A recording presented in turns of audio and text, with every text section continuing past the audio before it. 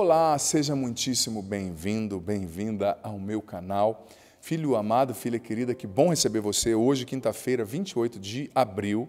Ah, se você é novo, nova aqui no canal, já convido você a se inscrever no canal. Inscreva-se rapidinho, não custa nada, ativa o sininho das notificações para você ser informado, informada todas as vezes que entrar um conteúdo novo por aqui.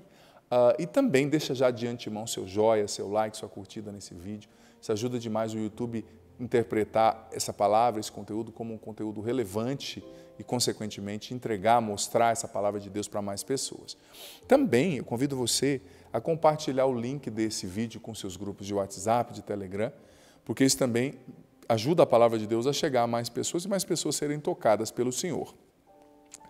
O evangelho de hoje está em João, capítulo 3 ainda, ontem foi 3 também, versículos do 31 ao 36. Ouçamos com atenção. Aquele que vem do alto está acima de todos. O que é da terra pertence à terra e fala das coisas da terra. Aquele que vem do céu está acima de todos. Dá testemunho daquilo que viu e ouviu, mas ninguém aceita o seu testemunho. Quem aceita o seu testemunho atesta que Deus é verdadeiro.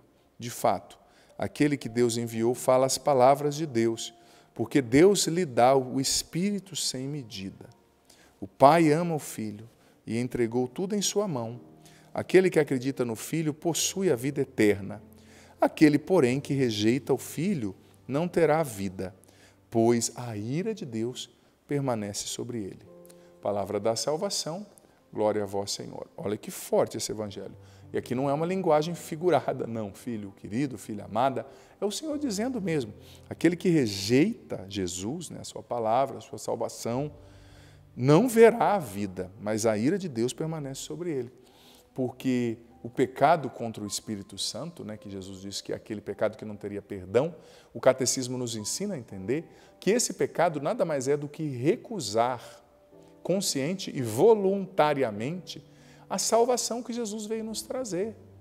A salvação, dando a vida por nós. Então, quem não aceita o Filho, quem rejeita Jesus, por exemplo, quem se afilia a práticas, a religiões nas quais não se proclama Jesus como Senhor, não se acredita no poder de Jesus, mas invoca outras forças ocultas, está incorrendo nesse pecado aqui contra o Espírito Santo e está atraindo sobre si essa ira que o Evangelho está falando.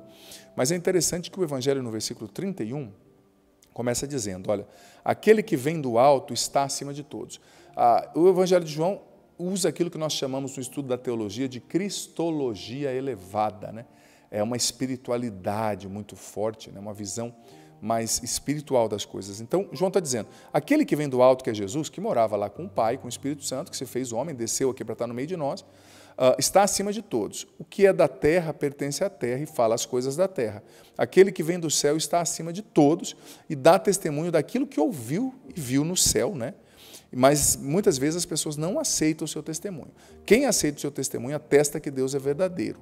De fato, aquele que Deus enviou fala as palavras de Deus, porque Deus lhe dá o Espírito sem medida. O que, que João está dizendo? Que Jesus, o mistério da Trindade, né? Pai, Filho e Espírito Santo, três pessoas distintas com a mesma natureza. Desde toda a eternidade, o Pai, o Filho e o Espírito Santo existiram e estiveram juntos. Só que na plenitude dos tempos, Deus enviou o seu Filho para se encarnar, nascer no ventre de uma mulher, que é a Virgem Maria, e nos ensinar o caminho da salvação e morrer na cruz, nos salvando. Né? Então, ele esteve com o Pai desde toda a eternidade. Então, quando ele se encarna, quando ele se torna homem, vem morar no meio de nós, lá em Jerusalém, lá em Israel, há mais de dois mil anos atrás, ele falava para as pessoas, para as criaturas, para as pessoas humanas naturais, como eu e você, aquilo que ele tinha visto e ouvido no céu. Por isso que a revelação dele às vezes era difícil para a gente entender. As pessoas entenderem, até hoje às vezes é difícil, por quê? Porque Jesus está revelando os mistérios de Deus. Aquilo que muitas vezes dá um nó na nossa compreensão humana, né? A própria Bíblia diz que Jesus escolheu o que é pobre e desprezado desse mundo para confundir o que é considerado sábio e grande. Né?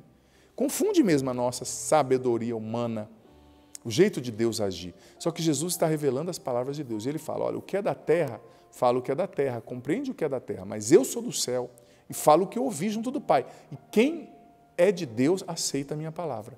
Gente, isso nos mostra que muitas vezes, filho, filha, nós precisamos nos libertar do mundanismo do apego às coisas da terra, daquilo que é passageiro, do apego à nossa visão tão limitada das coisas e começar a ver as coisas na perspectiva de Deus.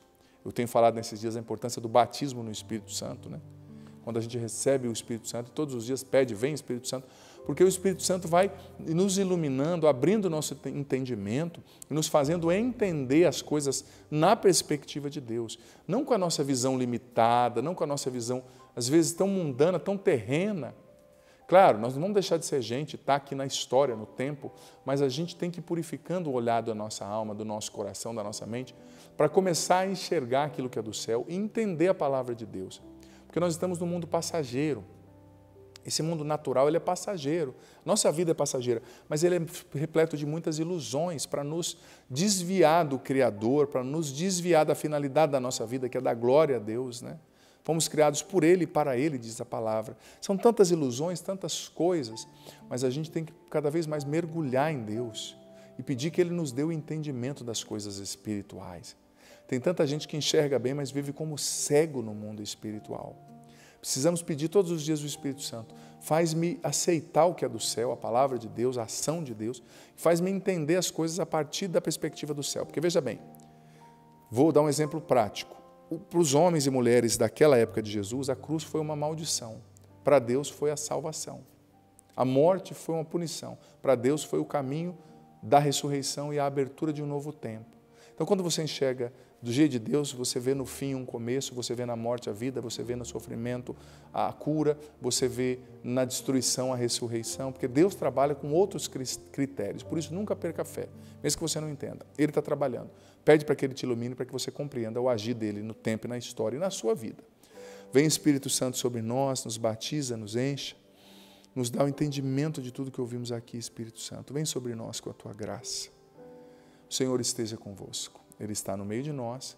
Que desça sobre vós, sobre a água que vós apresentais, permaneça para sempre. A bênção do Deus Todo-Poderoso, Pai, Filho e Espírito Santo. Amém. Olha, quero convidar você, por gentileza, não saia desse vídeo, filho, filha, sem deixar aqui o seu comentário, rapidinho.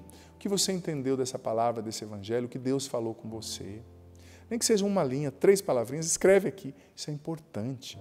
Isso vai te fazer parar aqui agora e pensar, e levar a sério a palavra de Deus, a refletir. Quando você escreve, você vai tomando consciência, isso vai entrando na tua mente, no teu coração. É muito importante, tá certo? Ah, e também deixa aqui nos comentários os seus pedidos de oração, o nome das pessoas, as situações pelas quais você quer que o Padre reze, que eu vou rezar com muito gosto. Um abençoado dia para você.